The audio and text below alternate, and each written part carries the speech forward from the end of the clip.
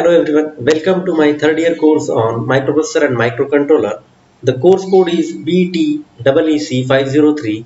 In this lecture, we will see the basics of microprocessor and microcontroller, then course plan for this particular course and then class assessment scheme for this particular course. I have shared you the course web page and I will be updating with the notes or PowerPoint presentations then laboratory instructions if any after each lecture. All my lectures will be recorded and the video link will be of that recording will be shared to you on the course web page and you will be notified accordingly. So next one is course outcome. After learning this course you are able to know the architecture of 8085 and 8051 uh, number second that you are able to understand the interfacing and interrupt structures or interrupt features of 8085 and 8051 and number three after learning this course you are able to develop some basics program with some basic applications. So basically what is what is this course? Course will help you in understanding the operation of microprocessor microcontroller its machine language programming and then the interfacing techniques. The application of this course are in industries in the research field and also in commercial field applications. So microprocessor is called as a computer on chip and it is fabricated on single integrated circuit that is IC. Okay, the main job of this microprocessor is to take information as input from the input devices and then process it this information and based on the directions and then it will provide the output to the output devices. So visually if you see any microcontroller or microprocessor there is hardly any difference between them. So there is no difference between uh, when we look at a microcontroller or a microprocessor they almost look identical. Okay. But there are difference in many aspects like uh, there is a difference like uh, microprocessor system memory elements like RAM, ROM, IO port, serial interface, timers all are connected externally. While in case of microcontroller as they are used for specific task okay. Uh, the amount of memory and IO port are required are limited in terms of microcontroller. Okay. The microcontroller all the memory elements and IO ports are integrated along the CPU inside a single chip. The size of overall system is much smaller whereas in microprocessor as the memory element and IO ports are connected externally so the overall size of the system is larger than microcontroller. Again uh, they are different in terms of processing powers. So microcontroller and microprocessor are different in terms of processing powers which they possess and they are different in terms of power consumption also. When we talk about the application the classical application of microprocessor application is a personal computer or a laptop. So using this laptop you can do a lot of stuff like uh, uh, we can use it for the gaming we can use it for the web browsing we can go for uh, photo editing or creating any documents or we can use it for mathematical calculations or simulation etc etc etc the microprocessor is basically used in the application where the task is not predefined. Okay so task is not predefined in terms of microprocessor and the task is depends upon the user how user is going to use this microprocessor. Okay and it is used in application where intensive processing is required. I'm coming to the microcontroller. The microcontroller is used for some specific task based upon the inputs given to the microcontroller. It provides the results as an output okay the information could be a user input or the inputs which are coming from the sensors. So whatever the sensor data is there it will act as an input to the microcontroller. The example for this microcontroller application is the digital camera. You can say washing machine or even microwave oven etc there are so many applications of microcontrollers are there.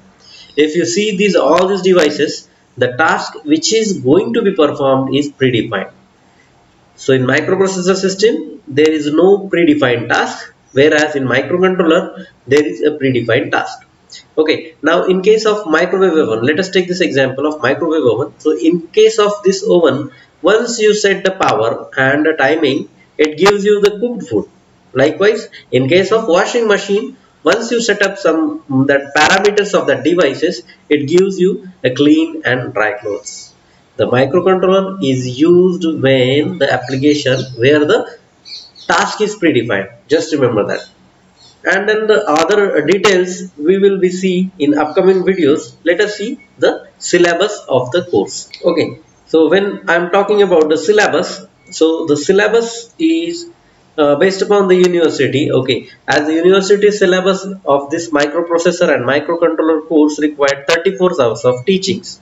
And uh, and my aim is to finish the course within that deadline. So the two courses as digital electronics you can see and solid state devices are the prerequisite to learn and understand this microprocessor and microcontroller.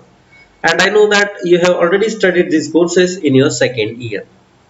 Okay these courses are of six units. So total microprocessor and microcontroller uh, subject is of six unit or six modules you can say that the first unit is architecture of 8085 microprocessor and programming.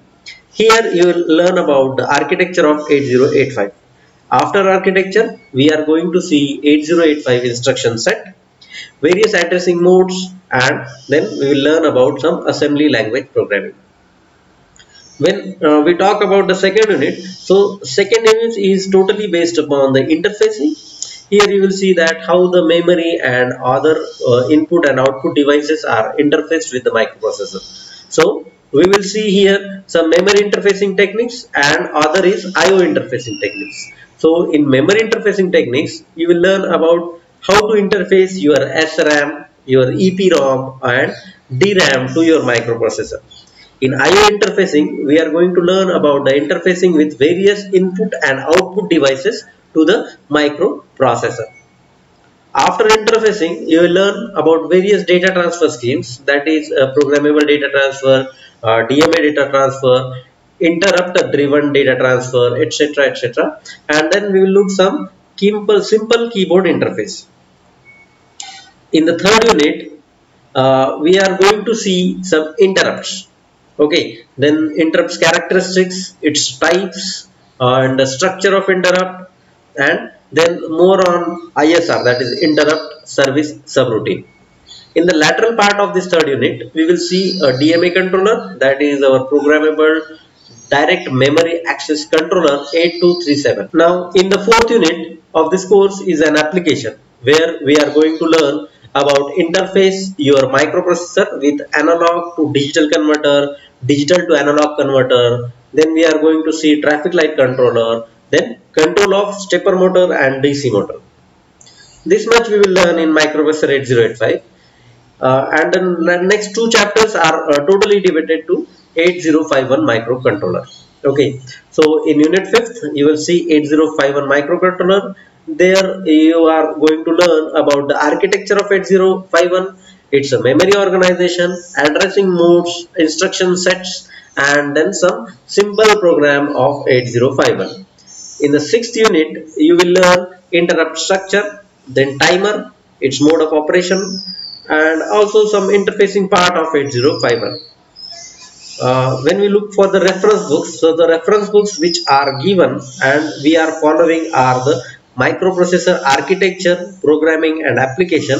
That is the first reference book authored by Ramesh Gaonkar and the second book for interfacing we are using that is microprocessor and interfacing programming and hardware authored by Douglas V. Hall. Uh, then uh, for microcontroller we will use 8051 microcontroller and embedded system authored by Mazidi uh, though this book is not given in the reference section of this particular syllabus uh, but we will use this for our course. Okay. Then uh, we will talk about some uh, examination. Okay so in the examination you can see that uh, uh, the examination scheme is about a midterm exam. That is 20 marks is given for midterm exam. Internal assessment 20 marks. And an end semester exam is of 60 marks. Okay. Uh, so basically uh, for uh, for uh, mid semester and end semester will be conducted by the university. And for internal assessment I have given you a class assessment scheme. So based upon this class assessment so total 20 marks will be given. So in class assessment uh, the first point is your attendance. Attendance means if any attendance or you can say the progress uh, from a Moodle. So whatever the course page is there and whatever your progress is there that is uh, taken as consideration and your uh, progress is monitored. And uh, the it gives you 2.5 marks out of 20 marks then second point is Moodle. As our course page we will give you uh, various MCQs you can say true or false numerical drag and drop questions short answers questions games etc etc after each lecture or after a week.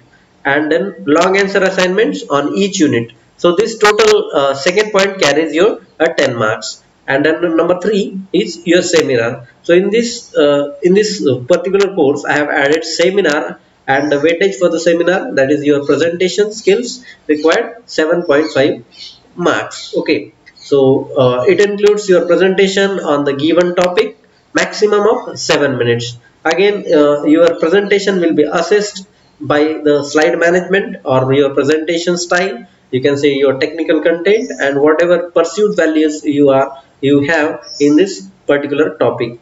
And then a report of the seminar which is again online report you can say so total 20 marks have been uh, described by these three different quantities. One is attendance or progress of Moodle then Moodle various quizzes on the Moodles and then seminar.